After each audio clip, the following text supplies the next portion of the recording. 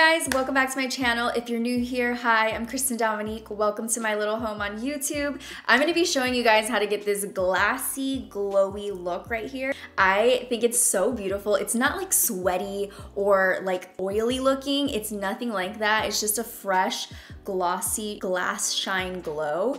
And I feel like that is really popular right now, especially when you have a really nice product just, just to give you that without having to put on a ton of different skincare and then a ton of different glossy makeup things to put on top of your skin. I have it all in one for you in this video. I hope you guys enjoy it and love it. And just to let you guys know, the Prisma Glow is available right now, so you can go and buy it. The link will be in the description box, so make sure to check it out. And don't forget to subscribe to my channel and hit that notification bell so you can be a part of the quad fam. And without further ado, let's get into this glassy shine makeup look. Before I do any makeup on my face, I think it's so important to tell you guys, especially for this type of look, to really hydrate your skin. My current favorite moisturizer right here. And I'm gonna just put that on. I put it on every morning. I'll have it linked in the description in case you guys are wondering what my favorite moisturizer is. I'm gonna go ahead and jump into the face. We're gonna get really, really glassy skin today. I'm gonna use the Prisma Glow Highlighter Effects Palette and I'm gonna take Skin Gloss as a primer all over the face. And to do that, I'm gonna use a little brush. This is a foundation brush. You can even mix this in with your foundation. I just want to have a little bit of a glossy base before I start my makeup. Skin Gloss has a nice tackiness to it, so your makeup is gonna apply even better if you use it underneath foundation. And it's just gonna give you that extra boosting natural glow. So I'm gonna put that right along my cheeks, on the chin. And you see, guys, if you have oily skin, I feel like you don't usually wanna gravitate towards this type of look, but it can look really beautiful and not oily, just like a nice, smooth, dewy looking skin type. I personally love it because I have dry skin, but I try to look as glassy and like glowy as possible. And with this, you can see it just gives you the most natural glow and it is a little tacky. So your foundation's gonna stick to your skin really, really nicely. Now I have that all over my face it is ready for foundation. And foundation, I'm not using too much. Lately, I've been liking a little bit more of a lighter coverage. I've actually not tried this, so this is my first time trying it in this video with you guys, but I've heard such great things about it. This is the Bobbi Brown Skin Longwear Weightless Foundation. It has SPF 15 in it, and this is the shade Beige 3. It has a little pump, which is nice. I love pumps. Put a little bit on my hand. And with the same brush that I used to put on skin gloss, I'm just gonna take a tiny bit, you could see. I've heard about this foundation that it's really nice full coverage, so I'm not going to put too much on. It honestly doesn't look very full coverage. On my hand, it just looks more dewy and skin-like, so let's just see how this works for us. That is very light. This seems like it's gonna be one of those buildable foundations, which is not bad at all. Now that we're done evening out the skin tone, you can still see my skin through the foundation, but it's more even and softer. The little blemishes are a little bit more blurred out, and that's exactly what I'm going for for this look. Now I'm gonna contour. For contour, on this type of look, I'm gonna use a cream. So I'm using the Revolution Conceal and Define Concealer. I think this is only $7, which is amazing. And I like the way the doe foot is shaped. It's perfect perfect for those precise little areas that you wanna contour. And you don't need much. So when you first take it out, it's going to have a lot of product on it. So I'm just wiping it off on my napkin in front of me. And I'm just gonna go down my face and define all the features. To blend this in, I'm gonna use the Luxie 233 large fluff brush. And we're just gonna blend all the contour into the skin. I like to take it way back into the hairline just so it looks like it's coming from your natural face. I'm about to rip off these earrings, so I'm gonna take them off for the rest of the tutorial because I they're so big they're getting in the way. So now we're nice chiseled and contoured, so I'm gonna go back in to the foundation a little bit just to make sure that we don't have any spots that are really like sharp and harsh. So I'm gonna take some more of that foundation and with the Beauty Blender, I'm just gonna take it, just take a tiny bit of it and go right below it. I don't wanna see any lines on my face from the contour or the foundation, so I wanna just blend everything in seamlessly You don't wanna know where it begins and where it ends. We don't like any lines here. For the concealer, I'm gonna be using the YSL High Cover Radiant Concealer, and this is in the shade number two. And then to blend in the brightening concealer, I'm gonna use the Sigma Precision Round Brush. Softly buff in the concealer.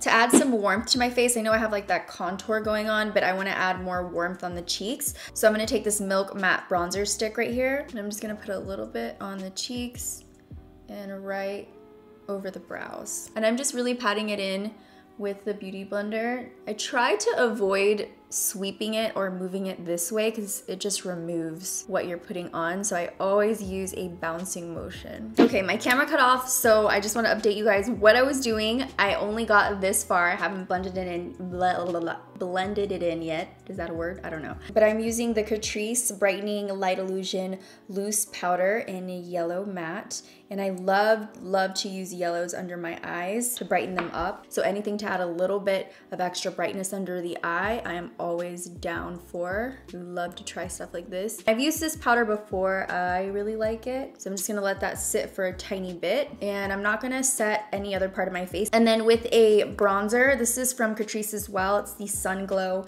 matte bronzer. I'm gonna take the Fenty bronzer in 190. This is a really interesting looking bronzer brush that I just wanted to try. So I'm gonna take some of that with the Catrice bronzer and put that right on the cheekbone and blend up.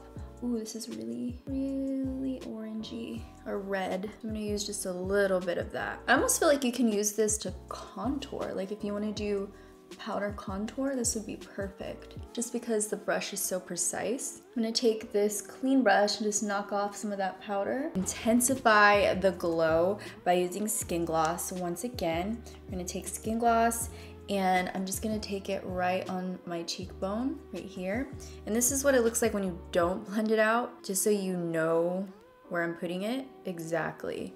So this is gonna be a really nice tacky base for our highlight. I don't know about you guys, but I like my ears to glow a little bit too. So I put it on like the highest points of my ear and it just looks so good. I'm so weird, but I think it looks so freaking cool when that whole glowy dimension of the face, body, and ears look on point, you know? And then right over that, I'm gonna apply Pink Haze and pop that on top.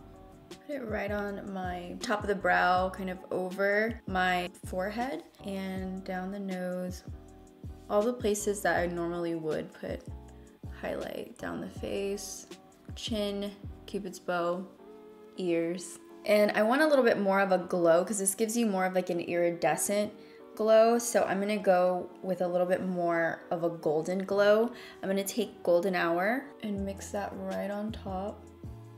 After we're nice and glowy, I'm gonna add some flush of color to the cheeks. So I'm gonna take my NARS Orgasm blush. I'm gonna take a little bit of NARS Orgasm and just pop it onto the cheeks. And I'm really just focusing on the apple of the cheek right here, just to have like a natural flush of color. That's it for the face, but after that, I'm gonna go ahead and take the Glam Glow Glow Setter Makeup Setting Spray for the face.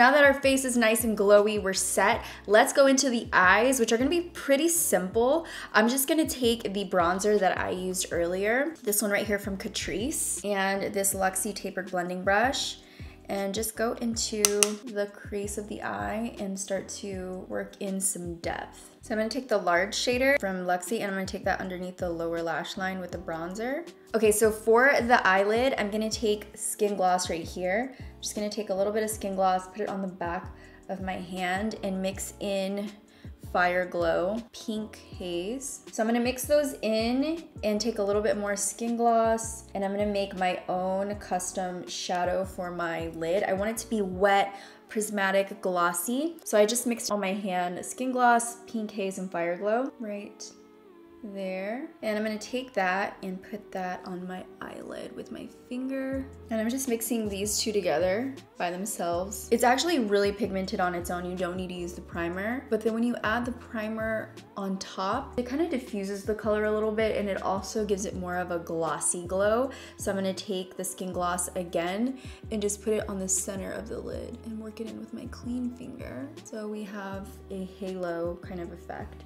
And since we're all glow glowy everywhere. We need to add a pop of glow on the inner corners. So I'm just gonna take this brush right here. It's a concealer brush, but I'm gonna use Pink Haze right here and pop it into the inner corners and just use it on the curve of the brow. we are glossy. So now I'm just gonna use a little bit of liner on my lash line. This mirror in the Prismaglow palette is so large and in charge.